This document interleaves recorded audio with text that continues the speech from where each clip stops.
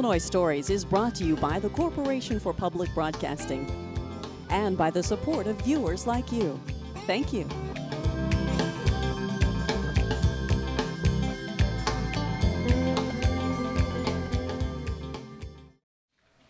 Hello, welcome to Illinois Stories. I'm Mark McDonald in downtown Decatur at the Madden Art Center. And it's the beginning of an exhibit here today, but it's kind of a homecoming for the young man whose work this exhibit consists of. Seth Casteel grew up here in Decatur. He went to, I think it was Eisenhower High School, Seth, if I'm not mistaken. And uh, he's back home now after a kind of a worldwide journey of touring for a new book that he's produced. He's been photographing pets for maybe five years or so, but he's found something that really hits people.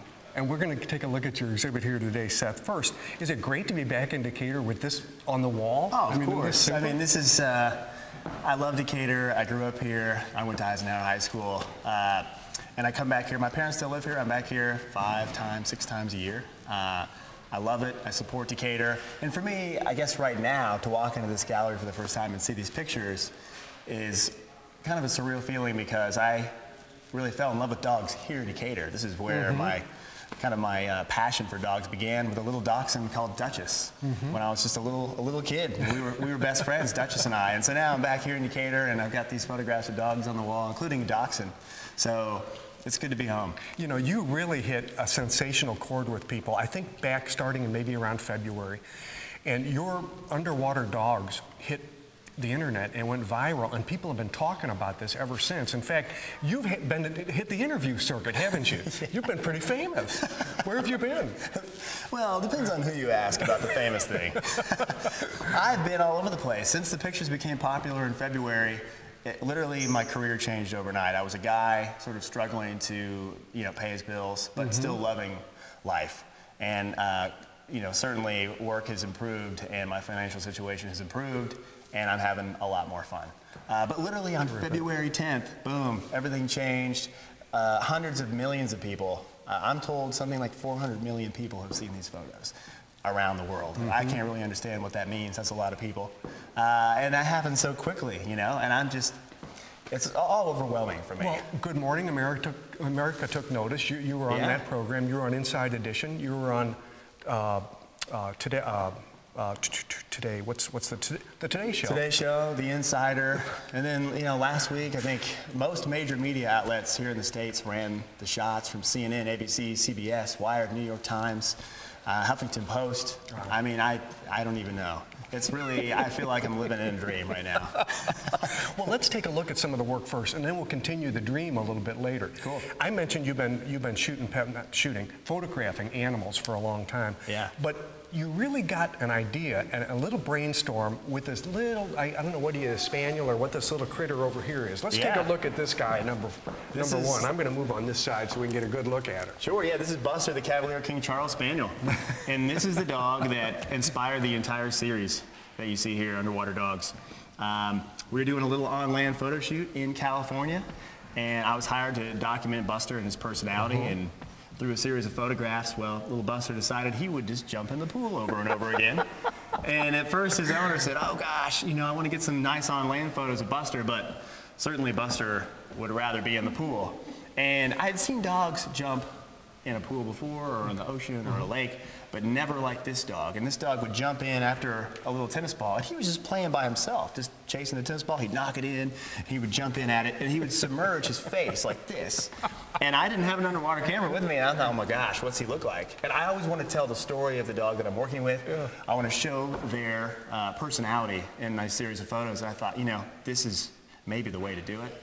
Left by a little point and shoot underwater camera, came back, jumped in and did a few snapshots of Buster, and this is the beginning. This is about two years ago. You were able, of course, to look right, to see the product of your work right away. You right got, away. You got to look at it and said, this is going to work. Yeah, I said, wow. You know, and I guess, I mean, I'm looking at it and I'm thinking, you know, what exactly do I have here? I mean, I can mm -hmm. see that it's interesting, and I, I get back home and I really start to look at the pictures, and I'm like, what's going on here? You know, mm -hmm. I'm mm-hmm. like, I got to pursue this more. Um, and so I did. It's a whole new dimension. Let's work our way down to, Mr. Beefy here. Yeah, Mr. Beefy. An old English bulldog. Now, it, it does. It gives it gives a, a, dog's face a whole different texture because the, the resistance of that water pushes all the folds back, yeah. and you get a look like you wouldn't get any other way, don't you? This is Mr. Beefy's first time underwater, which is exciting for him, and I think exciting for us to watch watch this moment. And you know, this is in a pool uh, in Chicago, a hydrotherapy pool. Uh, designed for dogs to sort of recover from injury oh. or to get oh. recreation, maybe if they're uh, if they're senior dogs. Uh-huh. Well, this is great. This is actually taken in January in Chicago. It's a heated pool. Mm-hmm. Beefy came out. Beefy's uh, owners decided to hire me to see if we could get some shots. And he'd been swimming a little bit, but he'd never been underwater, and he had such a fantastic attitude. Uh, he's just, he's, what's happening here is I'm using a little tennis ball to get his attention. We're playing fetch in the pool, and he sort of loses track of the yellow tennis ball and he starts looking directly at my yellow camera housing. So that's why he's looking straight at us. Oh, he might okay. he might think that we're actually the tennis. He ball. thinks you're the tennis ball. Okay. now this little this little girl up here, she kind of started things for you. I remember seeing this in National Geographic. I'll never forget it because she has this angelic look on her face. And, it, and, it's almost like she's surrounded with an aura of like she's in heaven or something, you know? Yeah, little Lulu. Um, she's here in Arizona, and I did the shot for National Geographic. I actually shot this back in February. They had asked me to go out and, and, shoot some photos to see if they may be able to publish one in the magazine. And this is the shot that eventually came to be. Uh. And she's one of my favorites. I mean, for a Jack Russell Terrier, to do this is quite remarkable. She dives down five, six, seven feet to the bottom of the pool over and over again. And they don't care for that naturally, huh? They don't, yeah, they don't go in the water that much. You know, huh? it's hard to say. I mean, I've seen some swimming Jack Russell Terriers, but in terms of diving, I think this is probably pretty unusual. Mm, okay. I've only seen this particular Jack Russell dive. Um, and I'm sure there's more out there now, but yeah, she's one of my favorites, and I love it. She, what I like about this shot is she almost looks like she really belongs here. You know, mm -hmm. she mm-hmm. looks like she's at, at peace here. She really does. This is her favorite thing to do in the world is to be here in this pool, chasing this ring. And she'll go after tennis balls, but she loves these rings. And that's all she wants to do. Speaking that's of it. tennis balls, now we get a real dichotomy here because this guy down here, it does not look like he's having a good time. this is pretty powerful. This is a powerful shot. Some kids I've met actually think this is funny. Mm -hmm. um, some adults that I talk to think this is very terrifying. I am definitely leaning more towards the primal, uh, mm-hmm. the primal look on this shot. And what I love about, you know, you see the dichotomy. You see this sort of peaceful, tranquil photograph, and then you see something that's so primal. Mm-hmm. And what I like about this shot is dogs are unpredictable in general. They're unpredictable in the water. They have a range of emotions, which is probably just as fantastic as human beings. And I love to see this because this is showing another side of what dogs can be like underwater. There's no aggression here towards me. Uh, this is a super friendly dog. You look at the on land shot and you look at this, you're like, wow. But what I like about this is ultimately we've created dogs from wolves. Mm-hmm. We've given them a reason to become dogs, and we've built dogs as we know today. But secretly, somewhere within modern day dogs, I think is a bit of a wild side. Mm-hmm. And I mm-hmm. think this is maybe what we're seeing here. Mm-hmm. That's just my interpretation. and dogs, to me, I'm a dog owner too. Dogs are so involved in what they're doing at that moment that they're not thinking about what people think of them. Yeah. So this is what you're getting is a moment, a this real is, frank moment, moment, aren't you? Yeah. yeah. and I'm close here. I mean, I must be probably eight inches away. My camera's eight inches away from. Oh, that's terrific. From this dog. Um, but really nice dog, though. Now, you love the tennis balls. They work for dogs, don't they? Because they'll go almost anywhere for a tennis There's ball. There's a universal, uh, I think, idea of a tennis ball and dogs, and the whole idea of fetch and the connection between uh, a, a, tennis ball and a dog, and then even factor in a, a human being and a dog and a tennis ball, and there's that connection there. I've used other toys as well, sometimes treats, but I really feel like the tennis ball uh, has an impact with people. You connect with that, you get it, what's happening, the dog wants that. There's other weird, crazy dog toys, and you're not really sure yeah. what they are. But I do feel like, in general, that object, just that shape, and even the size, is something that the dogs really react mm-hmm, to. Mm-hmm. And I think that's partially because of us um, introducing them to a ball. Yeah, when they were real, when they're real small. Yeah. Rolls, they chase it. Um, this is Bardot. You used Bardot, the yellow lab, in a number of, of shoots, haven't you? Yeah, yeah. I've worked with her a bunch of times. She is just a pop still. She's just about a year old. Wow. She dives, she dives down nine, ten feet to wow. the bottom.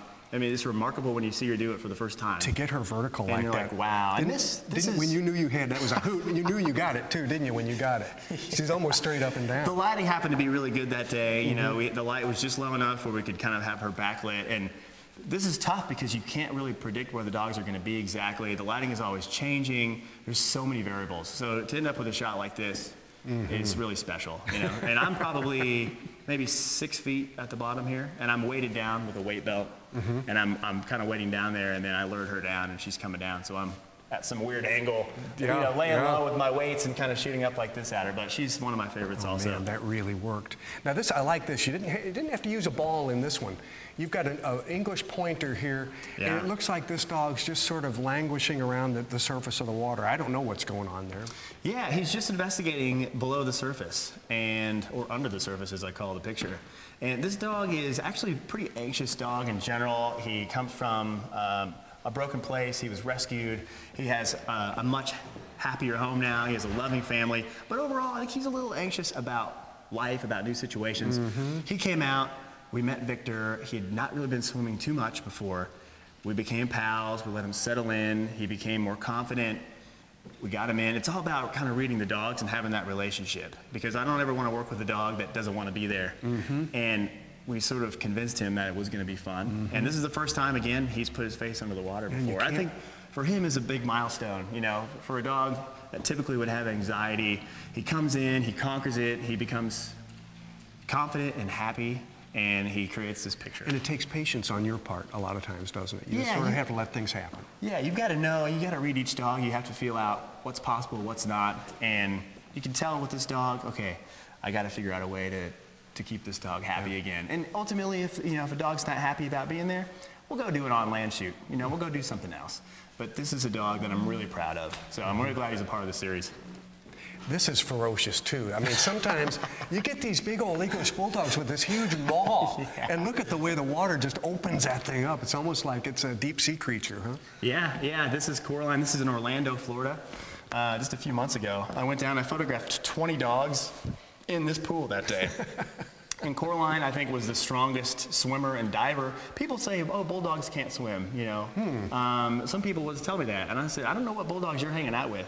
But certainly I've met bulldogs that are amazing swimmers. I've met bulldogs that are better swimmers than, lab, than labs I know. I'll be darned. Yeah, and, I mean, of course, with any dog, you got to make sure your dog actually is a confident swimmer if they're not used to it. Safety is always number one. But this bulldog um, not only loves to swim, but is extremely fantastic at it. Well, he's the only one in the pool too, because you're not going to you're not going to get into a pool with that, except you. You're the only one that's not enough to get in the Yeah, pool. but she's, I mean, she'll swim for 20 minutes and she chooses to get out on her own. And she's a bulldog and she does this and it's amazing to watch. And she'll dive down underwater. You know, it's funny to see her on land picture and you see her underwater picture. You see the contrast of oh. those two things. But she's also a really sweetheart. But in this, you couldn't really even tell it's a dog, actually. I know, I know. and this is hilarious. Look at the look on this guy's face, Rex. This is this is Rex the boxer. You know what? On the way out to do this photo shoot, this is out in Lake Havasu City. I was I was in Phoenix and I had to drive a couple hours out there. I was so excited to get to this photo shoot. I got two speeding tickets in one hour. I almost went to jail to get this shot. I mean, For I felt- the boxer, huh? Yeah, I was driving a little too fast. I got pulled over, and then I was driving a little too fast again because I knew this dog was going to be really special. Oh, he is. He is. it- again, when you see this dog in person and you see what this dog can do in the water, I mean, wow. But he doesn't like a tennis ball. Nope. he oh, only likes this like rocket thing that you shoot it through the water and he chases it. And he's extremely powerful. He'll jump up like this and then he dives down into the water like that. And he'll, I'll be laying at the bottom of the pool and I'll kind of tempt him with this toy. He'll come down, he'll dive down at you and he'll just stop and look at you and he'll grab the toy and then come back up. I mean, it's darn. a little bit creepy. He does. He's got awesome. He's got an underwater creature somewhere inside He, him. he's amazing. I mean, this is a fish dog. I mean, I Mhm, a can't fish even, dog. Yeah, That's a yeah. good And way to put it. You know, he has his pool in his house. He swims every day. He grew up with it. He loves it. He knows it, and it's just his way to have fun. So, Let's take a look at one more before we take a little break here and talk a little bit more about your career. This is the, the biggest print in the exhibit for sure, and it, and it kind of, well, it, it should be because it's just, it's, it's remarkable, isn't it? This is Duchess the Black Lab, taken in Chicago last January. Um, you know, a couple things with this picture. It's it's become the iconic shot of the series. It's been my favorite overall, and it's become the favorite of, I guess, the people that have seen the series. The book folks decided they wanted to put this on the cover of the book. Um, I mean, it's really become probably the shot of my career. And what's special about it is a couple of things. Uh, I met this dog after two minutes of working with this dog in the pool. We had this photo. It, it happened wow. very quickly, very naturally. Mm-hmm. The other really interesting thing for me is um, I grew up with a dog called Duchess, the little miniature dachshund, that inspired my love for dogs, my love for animals. And I'd never met another dog called Duchess. And I've photographed tens, probably tens of thousands of dogs. Never met another dog called Duchess, strangely, until this day. In walks this dog mm-hmm. called Duchess. I said, oh my gosh, I had a dog called Duchess. I love the name Duchess. I had this little dachshund. And then there was just something special happening with this photo shoot, and this is the photo that happened very naturally. So I wonder, you know, I mean, the, the connection with Duchess, is there something there? Is there something Mm. Something that I'm not seeing. Maybe maybe my little miniature dachshund is just saying hello from afar. I don't know, but it is. Yep. It's absolutely strange to me that this is the only other Duchess I've ever met, and then this is the photo that becomes sort of the iconic. The yeah. Iconic so I, I, love this shot. I love this dog. Really sweetheart, and it's great to see this picture here in Decatur too. And if my uh, little miniature dachshund Duchess was still around, I think she'd like this shot. Seth, we were talking about all the exposure that you have gotten recently, and I'm looking at the New York Times Magazine, which comes out in the in the uh, in the weekend New York Times, and you're even you're even in there. There there are millions and millions of people that read this every weekend, and they've got you in here in your in your salmon shoots up in Alaska. Yeah, yeah, terrific. This is, this is one of the really exciting, uh, I guess, results of what's happened with my underwater dog photos. New York Times saw that series. They said, hey, we want to we want to hire you to do an assignment. What do you think? Wow. I said, okay, oh, let's no do it. Kidding, so they no send me to Alaska. They pay me. They pay for me to go there and pay me. I go to Alaska for three days. My goal is to tell the story of the migration and spawning of sockeye salmon in Cooper Landing, Alaska. Russian River Rupper Kenai, photographing fish underwater, their end of their life cycle, and also the beginning. Uh, and also all the other animals that come along with that, including grizzly mm-hmm, bears. So mm-hmm. that was probably one of the, the highlights of my life is being oh, able sure. to do that and then get these photos. And I mean, I just, I'm in love with Alaska now. I want to go back every year. I mean, I would consider moving there. yeah. Well, they could, you know, you might toss them the idea that they need to send you up there for another time yeah, of year, you know. Exactly. Um, now, we're, we're in the corner of the, uh, uh, of the gallery here where some of your former work before the underwater dogs became famous. And, and you've been, like I say, you've been photographing animals for some time. And, and these are really different. They're black and white, but they still show that you, you, you hunger to show the personality of the animals, I think is what, is what I see anyway. And this Three Amigos is priceless. These three little guys, even though you can't see their faces, you can kind of tell what's going on here. Yeah, this is a, a, shot I did for a client. They hired me to photograph their three little Chihuahua, rescue Chihuahua friends. And they're extremely unpredictable dogs. And they run around and around and around, and they're a little pack, these mm -hmm. little dogs are. We went to a park I was finding it was tough. They wanted to have a shot of the three of them together, and I suggested that we, we do that as well. Oh, that would be really special. How are we ever going to do that? It's insane. The dogs are running around. so I'm like, I think we need to tell their story. We need to have them together as much as we can, and this has kind of become my favorite photo from that shoot, and also the owner's favorite photo, and maybe the dog's favorite photo. Yeah. Also, yeah. but what we did with this is um, I actually put them on an elevated position. Um, where they could still jump down, but they were a little bit, you know, they were elevated off the ground. I, I backlit them, I underexposed a shot several stops, and I was able to get their attention with a telephoto lens from maybe about uh, 30 meters away. And we got the shot. And I think for me, if you ever meet these dogs, certainly for the owners, they know this, is this represents their dogs. Probably better than individual shots, better than even shots of them where you see their faces because they kind of have this little pack thing going on. Yeah. And they're this little gang together yeah. and they all love each other and they're a team. And I think this represents that. Mm-hmm. It sure does. This is this is great too because you know it doesn't matter whether this guy is a good good musician or a bad musician. this dog loves his music. this is in New York, and this just happened. You know, you're walking around New York, and walking around New York, you see some incredible things. And I happen to be down there with my camera, and this is a guy playing a saxophone for tips, and here's this dog here, just just listening in, and it really did seem like the dog loves yeah. the music. And if the dog had any money, he'd have thrown in that hat. You know, he surely would have. exactly. Let's look over here. Look at this. Uh, look at this big guy Can I here. show you this one real quick? Oh, sure. This one. Sure. This is one of my favorites. This was done. Uh, I only photographed this dog for probably 10 seconds, and this is in a park in Chicago after a big blizzard about two years ago. Um, and during that day, the temperature was 16 degrees. I call it that. But what I like about this shot is freezing out. There's a blizzard that just happened, and this dog and the dog's owner are out playing fetch, having a good time, and it, it's freezing out. Mm-hmm. And this dog is just having so much fun. You know, no worries. And you see, you know, the breath, it's backlit, and you know, the dog is just having a blast to see the smile. And I just think this is a powerful moment. And I, I joke with people, I say it's sometimes it's tough for me to do a lot of work in Chicago in the winter because not a lot of people want to be outside that much. But Right. this is something that you certainly can't do in Los Angeles. That's for sure. That's for sure. You'd never get the effect, would you? yeah. And this, this actually took first place at the AKC uh, photo contest for this past year. So I think there's Congratulations. I don't know, thousands of entries, and they, Yeah. they picked this one. But I, I think this is a really special picture. I don't even know who this dog is. I have no idea. I don't know. But I, I like the dog. You've made each other famous, though. I like this dog, this Afghan, um, because I just look at her or his eyes. I can't tell, but I just look It's at a that, he. and he just has so much personality. I am drawn to this shot. I'll tell you a quick story about this photograph. I was waiting at a park in New York uh, on the Upper East Side, waiting for another client. Along comes this dog and this dog's owner. This dog's called Ayeya, Afghan hound. At this time, the dog was just about a year old. And I said, hey, can I meet your dog? You mind if I take a couple of pictures real quick? He said, sure. Mm-hmm. I had maybe 30 seconds to work with this dog, and they went on their way. And this is one of the resulting photos. For me, has just been my, probably my favorite photo I've ever done.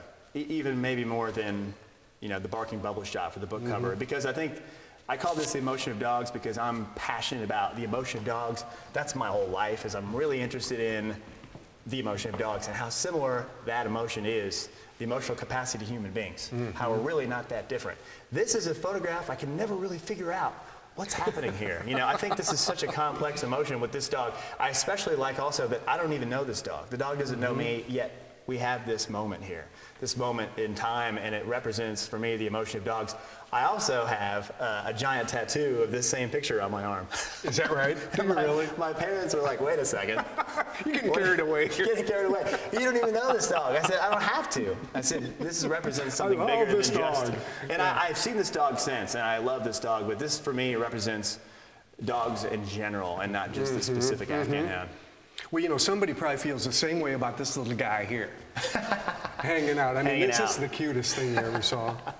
This is a little dachshund that I met Oh, actually here in. Illinois, Oh, and this little dachshund's about um, nine weeks old, and just had a fantastic level of confidence um, for his age. And we went around, and he just liked to play hide and seek and climb up the trees and look around the shed. And really, I mean, we had a blast. There's actually, I don't know how many, but a whole bunch of photos from this photo shoot that turned out to be really a, a lot of fun. And this is just one of my favorites that I wanted to present here.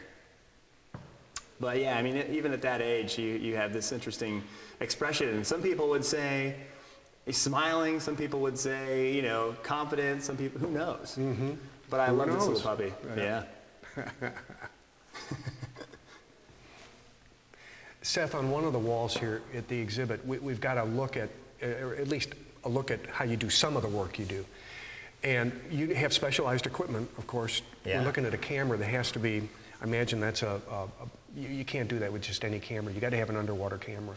You probably also have to have special kind of clothes because you're in Puget Sound in this picture and it's cold, right? It's pretty chilly Yeah. in the water. Yeah, the, so the camera gear, it's actually an on-land camera. That's a Canon 7D. Uh, and that's taken and is placed into an underwater housing. I've used probably 10 different types of underwater housings. This housing here has been the main housing I use. The entire book basically was shot with this situation.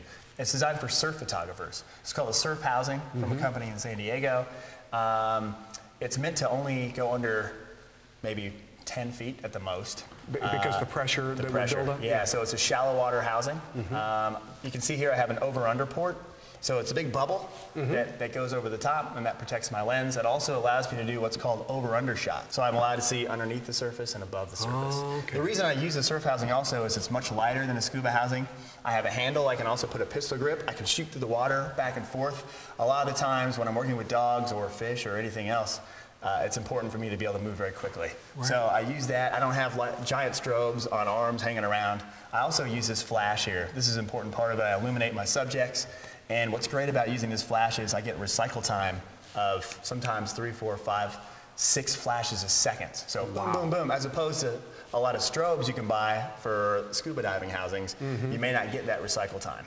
You may get one, and you gotta wait, and then you get another flash. Yeah. So this is one of the secrets to me being able to create this is the gear helps me illuminate the subject. Mm-hmm. Uh, otherwise, you know, a lot of the pictures would just be dark. Oh, you, you lose so much light once you go underwater. It may look light down there, but once you get down there, it's not that way, It's, is it? it's true. Yeah. Yeah. it's so true. And so, yeah, that's the deal. And I keep it bright yellow because the dogs will react to it. Mhm, like a tennis ball. Yeah, except the salmon, the, you know, the whole thing with the dogs is a tennis ball, but I definitely, I, I learned that salmon aren't interested in a tennis ball. Right. Hey, let's figured that one out. This book, as we, as you and I stand here in early November, this book has just come out a week. Or, it's only been out a week or two ago, Uh-huh. and already it's Amazon has this listed on their bestseller list. I think is that if that's not right? Yeah. And the New York Times as well. New York Times bestseller. I just got announced yesterday. I know, I can't even believe it. I'm like, what? Isn't that something? Um, so it's been, yeah, a real thrill. It just came out October 23rd. Sales have been really good. New York Times on the bestseller list. And yeah, I'm just ha- having a blast with this thing. Also, we, we have to note, I mean, we, we know that you're a, a dog lover, and, and you've, you've explained that, but you also have set up ways that, that shelters can benefit from what happens here at the gallery and also the purchase of your book, I think. Have you not? Yeah, yeah. So we're donating uh, a portion of all proceeds to Homeward Bound and also the Macon County Shelter Foundation. Mm-hmm. Uh, every little bit helps. And that cause is sort of near and dear to my heart.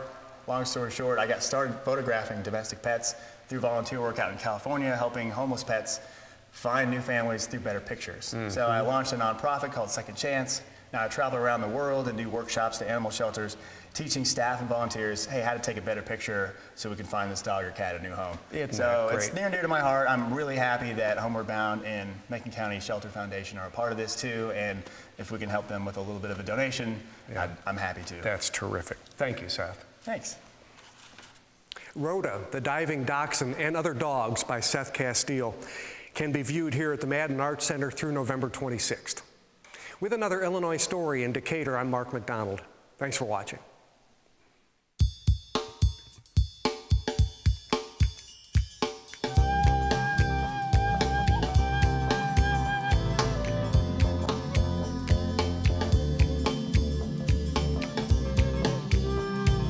Illinois Stories is brought to you by the Corporation for Public Broadcasting and by the support of viewers like you.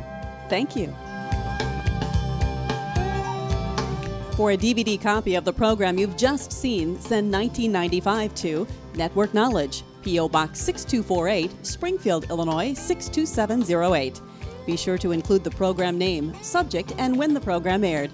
You can also order with your credit card by calling 800 232 3605.